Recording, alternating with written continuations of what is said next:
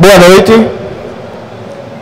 Vamos dar início então ao painel O papel da imprensa no ecossistema de startups. É o último painel do dia. E a gente vai contar com a presença de Priscila Zuani, Zuina, da, do Exame.com, é, Tomás Lira Gomes, da revista Pequenas Empresas e Grandes Negócios, Diego Remos, do Startup, e Daniel Fernandes, do Estado de São Paulo, para, pequenas, para pequenos empreendedores. Então, bem-vindos, conto com a presença de vocês aqui para o nosso painel.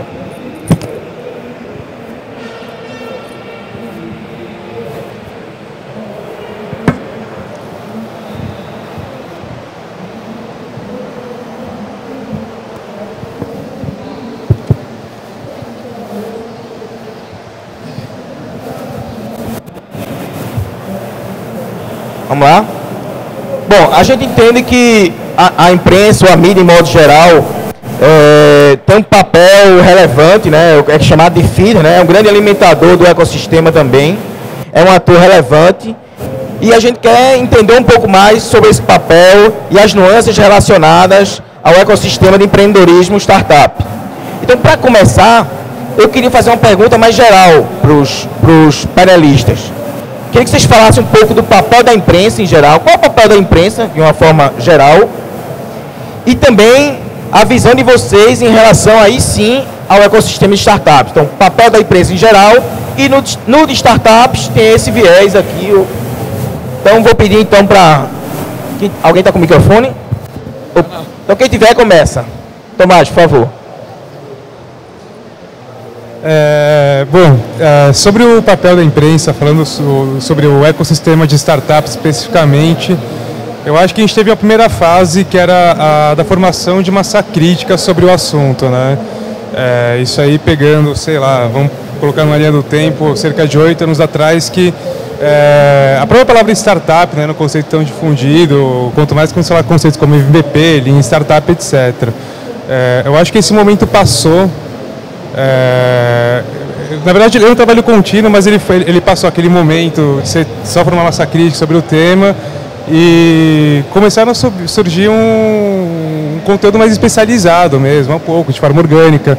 É, alguns jornalistas, alguns veículos abraçaram essa casa, é, como o Startupia, o Estadão criou o Núcleo PME, é, principalmente sobre o, o núcleo de, o, o, sobre o, esse ecossistema de tecnologia e eu acho que a partir de agora é, tem um papel muito importante, que é uma segunda fase, que é um, uma postura um pouco mais crítica, analítica sobre o sistema. E esse papel também, que é um papel que o Startup, por exemplo, vem fazendo muito bem, que é de conexão entre esse, entre esse ecossistema empreendedor. É, enfim, porque é um ecossistema que vai muito além do Rio, de São Paulo, de Minas, que são é, mais conhecidos, até Porto Digital, no Recife, que você tem no Brasil inteiro, então acho que, que é uma missão aí, um desafio que o jornalista tem pela frente é, conseguir ter uma visão ampla é, em um cenário tão distinto como é o brasileiro. Boa noite. Obrigado pelo convite. É, parabéns pela curadoria do palco todo aí. Ah, o papel da imprensa, tem alguns jornalistas que usam papel reciclado, tem alguns que usam papel de uma gramatura bastante suave, tem uns que usam papel interativo, mas enfim. Ah, enfim, às vezes nem é papel, é ink paper. Um, o papel da imprensa também é às vezes relaxar e fazer uma piadinha, mas falando bem sério, eu acho que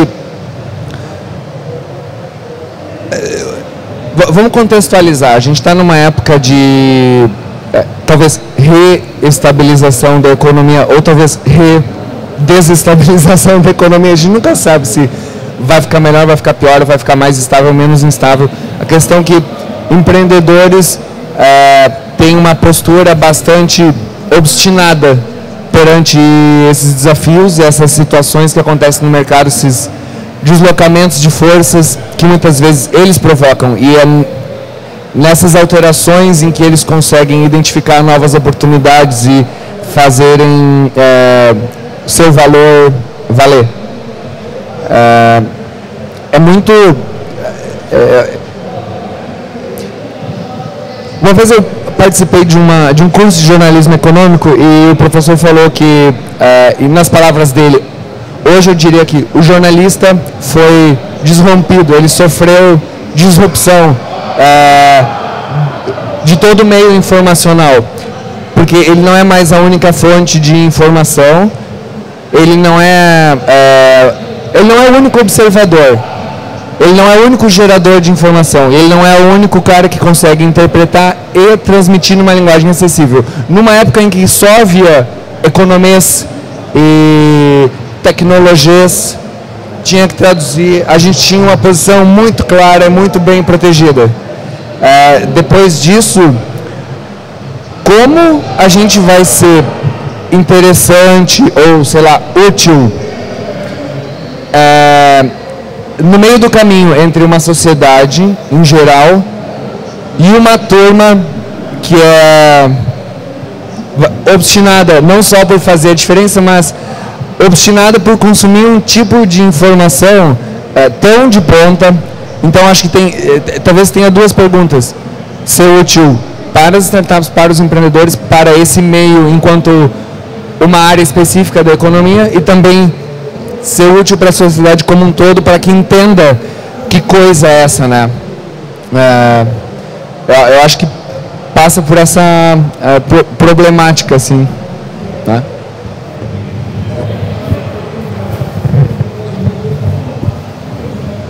Boa noite. É, eu acho que o papel da imprensa, além de tudo isso que foi dito, é um pouco também de educar. É, tanto o mercado, é, eu cobri esse assunto há quatro anos, né, relativamente pouco tempo, mas muita gente às vezes até hoje não sabe o que é startup. A gente tem instituições importantes, tipo o Sebrae, que agora começam a olhar para startup, que agora começam a pensar como é que esse mercado funciona. Então acho que um pouco o papel da empresa também é fazer essa educação, tanto do mercado mais geral, quanto dos próprios empreendedores de, de, de entender como é que funciona esse ecossistema, como é que funciona o investidor, quais cuidados você tem que ter, né, para não cair numa roubada e tudo mais. Então acho que tá, tá aí, tá um pouco aí também o, papel além de informar. É, e a segunda pergunta sobre a opinião sobre esse ecossistema, como é que está hoje, eu acho que é pleno desenvolvimento, né? Que a gente tem visto com, com eventos e com, com é, conversas, é todo mundo muito, tudo muito em ebulição. O que também exige algum cuidado, né? Acho que exige sempre um, um pé atrás com algumas coisas para a gente também não, não entrar muito nesse entusiasmo sem saber o que está rolando por trás de verdade, né? Acho que, como, como o Tomás falou, essa, essa, essa crítica também é importante, porque senão você, se anima com tudo isso, com, o empreendedor é animado, né? Então, essa animação está em todo lugar. Então acho que isso é, isso é bastante importante, acho que essa é a minha opinião. Oi gente, boa noite. É, obrigado pela presença, pela presença. Obrigado pelo convite. Obrigado pela presença. Eu acho que a única coisa diferente que eu posso falar, eu concordo com o que todo mundo falou, essa segunda fase é, é isso mesmo. Tá, tá surgindo, todo mundo tem uma startup, todo mundo tem uma ideia que é uma ideia de um milhão de dólares. É feito há alguns anos, todo mundo tem uma banda, talvez, né? O é ter uma banda é, O que não é ruim, é, o que não é ruim, porque você vai filtrar, os melhores vão ficar, enfim. O que eu acho é que a gente, como a imprensa, tem um papel que é, é, é, é, é interessante no sentido de tentar criar um ambiente para que essas startups conversem. Eu acho que é, é esse papel de comprar, não é comprar uma briga, mas é de levantar uma bandeira em favor desse tipo de, de, de empresa que está surgindo.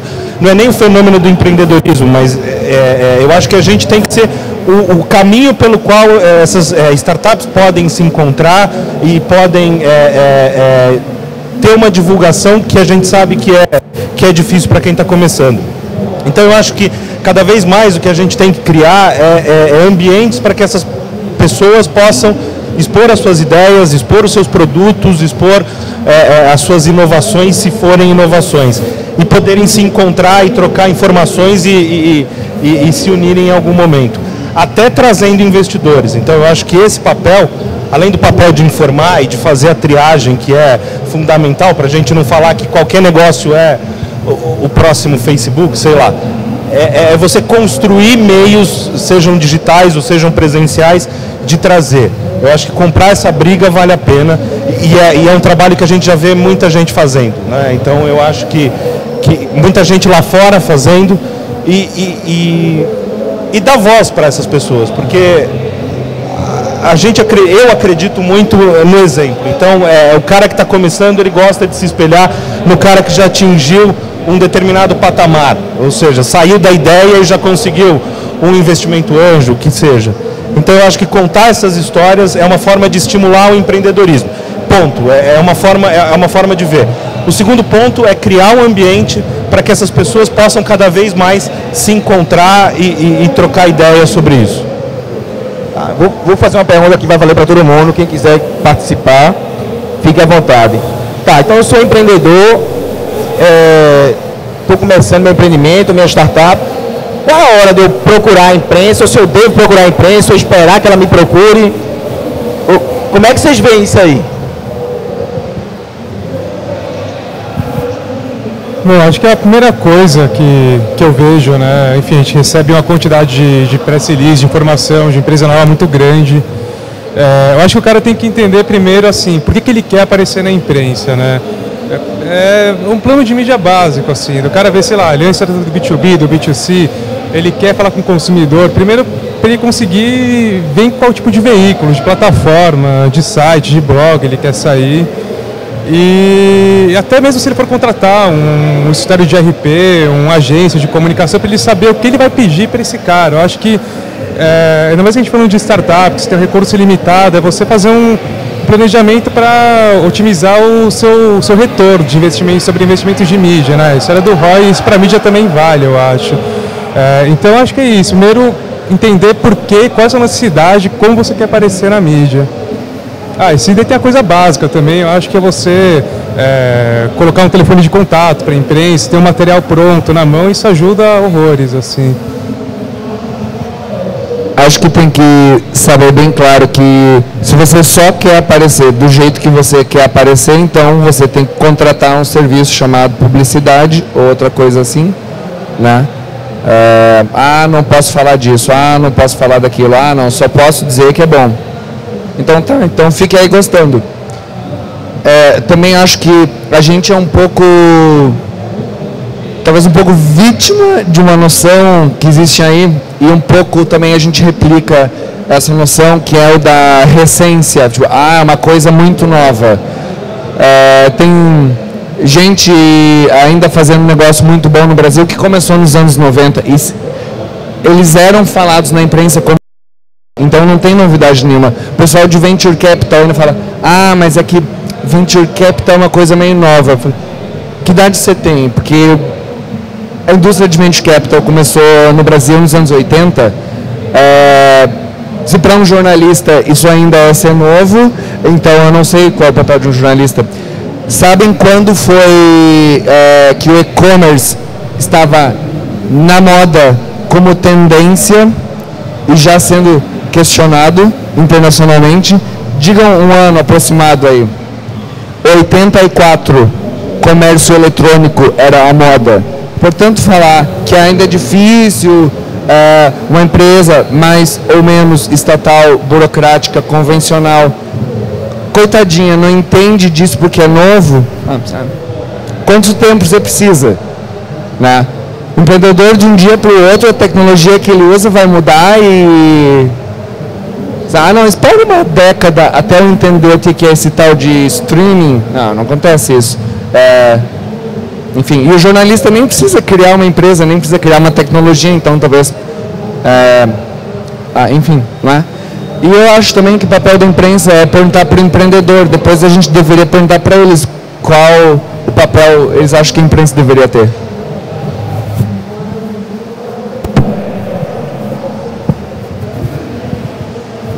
Eu acho que antes, é, falando um pouco do nosso trabalho, né, antes de procurar a imprensa, é legal que o empreendedor entenda o que ele está fazendo, porque hoje a gente recebe muito material de gente que fala, ah, é super legal, mas eu só posso te contar amanhã, assim, o tipo de coisa que para a gente não, não dá certo, né?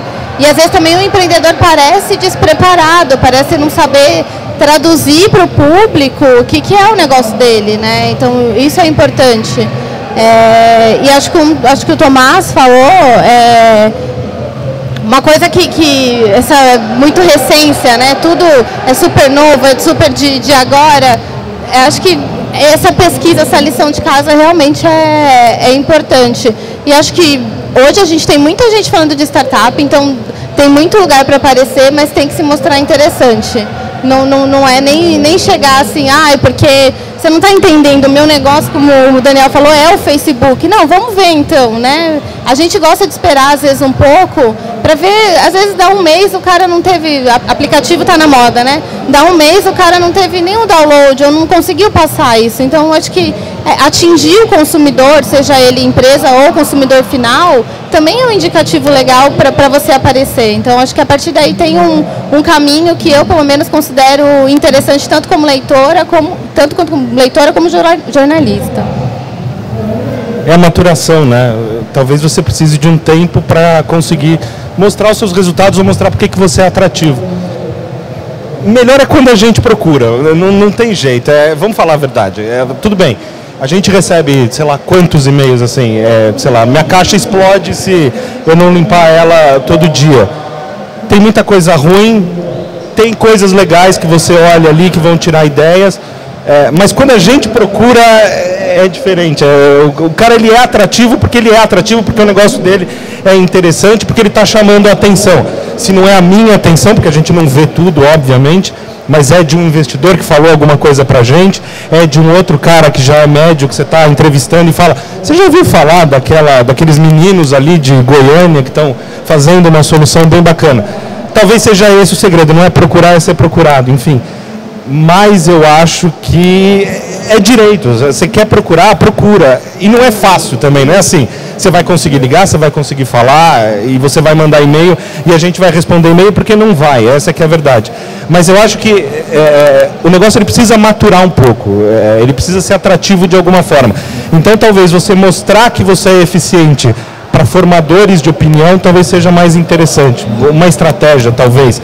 Mas é, é, é ter o que falar. Né? Em resumo, eu acho que é isso. É, é você ter o que falar. Então, comecei assim, cheguei até aqui.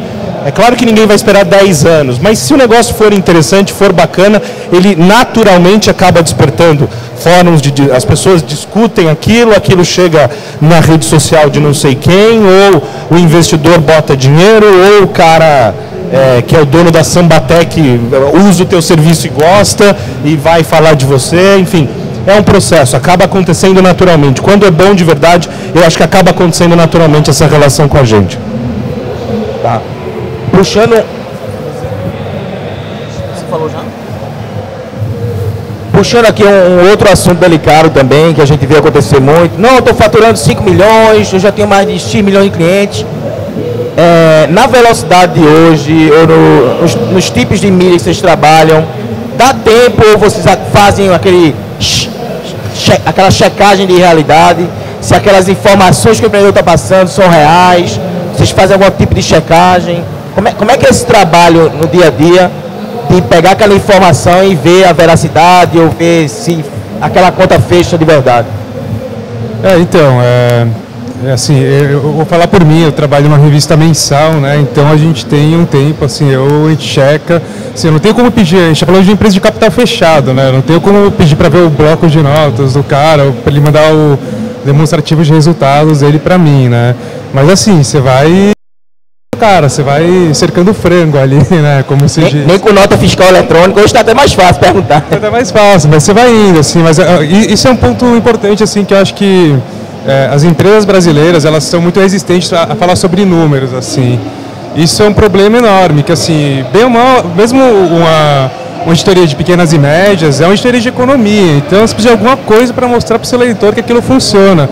Às vezes mesmo que o cara não tenha um número tão expressivo mas assim se o cara jogar real você consegue defender de alguma outra forma porque que aquele cara apareça ali porque ele tem uma coisa muito legal muito inovadora eu acho que, assim, faturamento é importante, mas não é tudo, até porque a gente está falando de várias variáveis, como margem de lucro, etc. Você pega, dependendo do modelo de negócio, o faturamento de um milhão não é muita coisa, não é nada, aliás, né?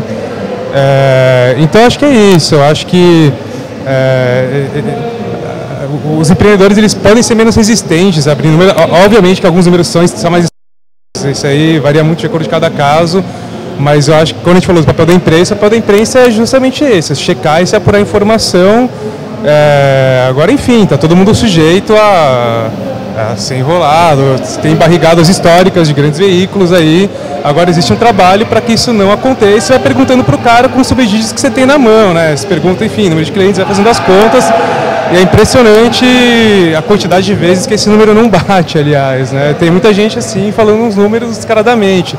Principalmente projeção, assim. Acho que projeção. É, às vezes a pessoa que acha que, acha que cabe tudo, que está fazendo uma projeção para daqui a três anos de faturamento, de clientes. Mas, cara, assim, você não está conseguindo ver como o cara vai chegar lá. Se ele está conseguindo explicar isso, é, como é que você explicar isso para um leitor, assim, entendeu? Para audiência, para quem está lendo você. Tem uma coisa muito engraçada que acontece, que é cresceu centenas por cento este ano. Tá, um ano atrás tinha quanto? Zero. Mas é baseado infinito, em que, é infinito por cento, né? né? É. Zero para um. E às vezes também assim, ah, o número é expressivo e tal, mas quem gosta de número é contador, né? A, a gente é contador de história, então o número faz parte de uma história, sabe? A gente não está vendo relatório fiscal. Eu não vou, eu não, não sou fiscal. Mas olha, esse cara fez uma coisa legal, chegou até esse ponto, ele acertou que os consumidores usam. Legal. Eu não quero saber se a tese dele está bem defendida, porque já dizia Einstein, já dizia Freud. Não importa, porque às vezes o cara está usando. É, infelizmente, muitas vezes esse problema de verificação é muito fácil, é, porque Várias vezes, empreendedores, empresas contratam serviços especializados para entrar em contato com jornalistas de veículo, que são assessorias de imprensa, e várias vezes é, você olha já na linha de assunto, ou no título, ou no primeiro parágrafo, e você, às vezes por já conhecer o empreendedor, já conhecer aquele produto, ou por conhecer aquela área, você sabe, você lê aquilo, você sabe. Não é isso. E aí você fala, olha, fulano, acho que não é bem isso. É isso sim, que foi o que o cliente aprovou. Eu falo, pô, então tá. Mas não é o que eu aprovo, entendeu? Não é, não é isso. Não se trata de alguém autorizou ou fez com que o número fosse assim. O cara está sendo pago para. É, a, a relação você tem que interpretar também. E às vezes é tipo, é o maior é, player, o maior app no mercado, não sei. Ah, maior quanto? Ah, não, é maior. Não, mas então me diga o seu número e o dos outros players, sabe? Ah, é 300 abacaxis contra 200 abacaxis. Ah, 300 abacaxis é mais que 200 abacaxis. Você pode comparar. Agora, você não pode comparar número nenhum com número nenhum, mas não, juro que é o maior.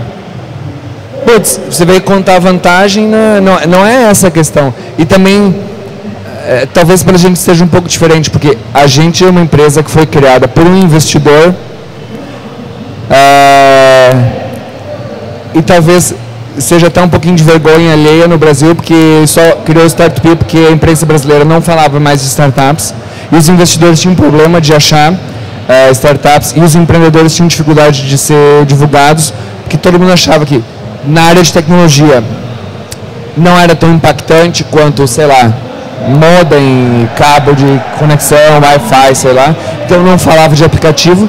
E na área de economia achava que era tudo número muito pequeno, que obviamente é, e ainda é. é fecha parênteses. Então a gente nasceu como uma empresa que ajuda a e a primeira forma de fazer a diferença foi contar histórias sobre eles e depois a gente já evolui e faz outras coisas, mas o pessoal ainda quer que a gente faça história, então a gente ainda faz. É gostoso. É, mas então tem um pouco dessa coisa de você não pode. É, você pode errar, todo mundo pode errar e jornalista também erra. Eu erro todos os dias. Sou muito feliz de saber quando é erro. Né? Agora, você não pode falar muito errado, muito distorcido de propósito. É, quando as pessoas para as quais você está falando não apenas falam sobre isso, mas elas ajudam a construir isso, sabe? Eu sou sócio de mais empresas. Eu tenho a nossa empresa é formada, ela tem, tem mais 20 investidores de várias áreas. todo mundo se conhece, entendeu? E é muito sensível você forçar a barra com o jornalista, sabe? O ficar naquela coisa que parece que estava sendo stalker, tá o dia inteiro seguindo e tentando provar como você é brilhante e legal. Você está brilhando tanto que está ofuscando, sabe? Melhor ser menos legal, ser menos bom, porque daí, né, cansa um pouco às vezes. Eu, eu não sei, eu respondi? Sim, sim. Tá. É, antes de abrir minha pergunta, vocês querem fazer alguma contribuição a respeito desse tema, do cheque de realidade? Não, eu acho que é, o que mais acontece hoje é a gente não ter um número, né? O medo de divulgar qualquer número que seja, o número de usuário, de qualquer coisa, não só de faturamento. Então isso já é um problema. E o segundo que, como o Tomás falou, às vezes você começa a fazer outras perguntas. Ah, e esse faturamento de onde? Como é que é? E o cara começa, já se entrega, né? Então você acaba percebendo que, que não é bem por aí, né? Acho que é só, só para acrescentar. Eu acho que é isso. Eu trabalho no Estadão, a gente precisa falar de faturamento, não tem jeito. É, eu estou debaixo do guarda-chuva de economia, então se eu entrego, se a gente entrega uma matéria que não tenha faturamento, essa matéria vai voltar, mas por que, que não tem? Agora, tem uma coisa interessante. Quando você fala de startup, quando você fala de pequenas empresas, em termos de audiência ou de interesse das pessoas por aquelas matérias, elas não vão atrás do faturamento, elas vão atrás da história. Da história. E eu acho que isso é, é, é importante para quem é empreendedor, e acho que a gente aqui está falando para quem é ou quer empreender, isso é importante. Você vai falar o um número, é, você pode mentir, a gente pode pegar o mercado e entender que esse número é errado e tchau, porque você já mentiu para mim. A gente pode acreditar no seu número e publicar o número que está superdimensionado, isso acontece com todo mundo. É, é, eu, eu, estaria mentindo se eu falasse que, que não, existe, acontece. Mas se você paga os seus impostos, você não vai ter problema de falar quanto você fatura, é um pouco por aí. Eu vou abrir um pouco para o público agora. Então, quem aqui é pé? Ah, vai pegar o microfone. Quem é empreendedor?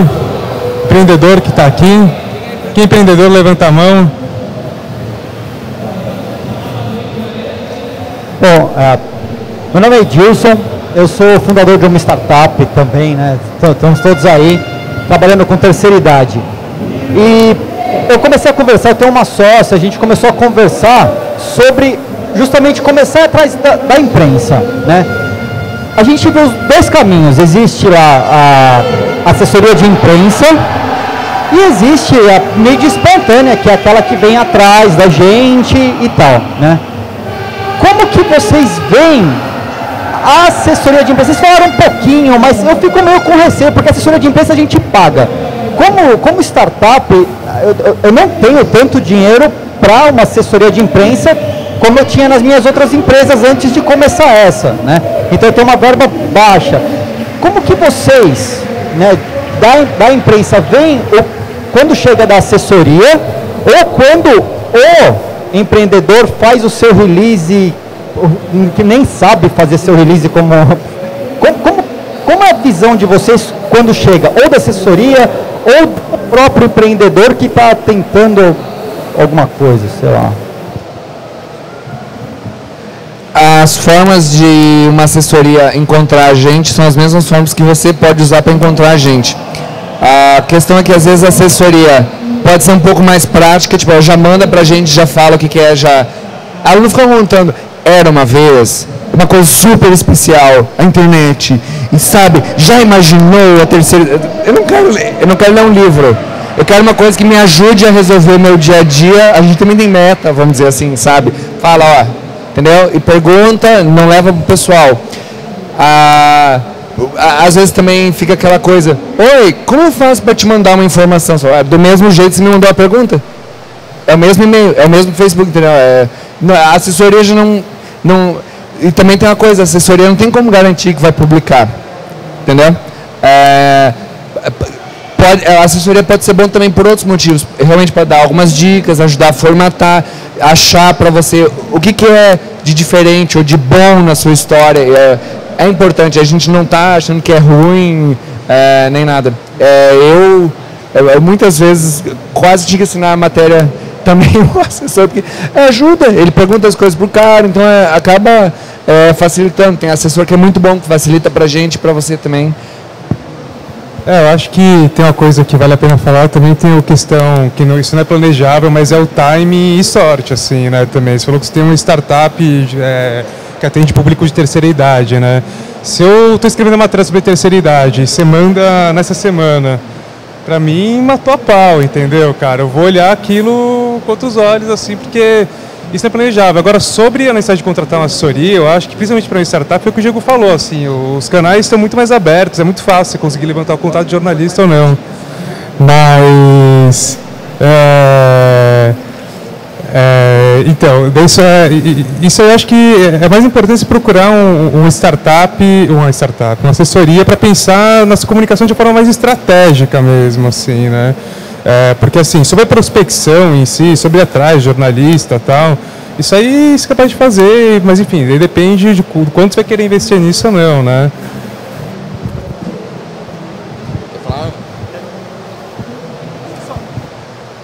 Tenta encarar a assessoria, é, ela é boa para você se ela funcionar primeiro como uma consultoria do que é atrativo para você, do, do, do, o que você tem de atrativo, é, pensando com a nossa cabeça como é que você vai, entre aspas, vender o teu produto para a gente. Por que, que ele é interessante? Acho que quando começa, não, não vai achando que você vai sair no Jornal Nacional meia hora, porque não vai. É, isso acho que todo mundo já sabe. Mas pensa como uma consultoria. Se essa assessoria conseguir te, te dar uma, uma, uma consultoria de como você deve se comportar, quais são os atributos do teu produto, da tua startup, o que, que é legal, é, é, o, que, o que pode funcionar na imprensa, porque todo dia a gente está publicando histórias é, de startups e, e, e, claro, é o timing, é, é isso. Se a gente está fechando uma matéria e precisa do mercado de idoso, chega lá um cara falando que tem uma startup voltada para esse público, no mínimo você vai prestar atenção no, no, no e-mail. Mas é, você fala direto com a gente também, né? Então isso tá, tá mais fácil. Facebook, Twitter, é, é, é muito mais fácil conversar com a gente, chegar até a gente, né? Ainda mais para quem fala de pequena empresa, porque a gente vive muito do case, né? Diferente de você estar tá competindo ali na editoria de economia do Estadão com, sei lá, os caras que faturam bilhões. A gente tem necessidade de casos legais, então a gente fica com o radar mais ligado lá. Pessoal, infelizmente estamos em cima do horário já, são 23 horas, então a gente não tem como fazer nenhuma pergunta mais. Queria novamente agradecer a participação de vocês e a participação de vocês também que ficaram até às 11 horas da noite aqui, assistindo o painel. E eles estão aí, estão na imprensa, os canais estão abertos. Usem e abusem. Obrigado. Boa noite.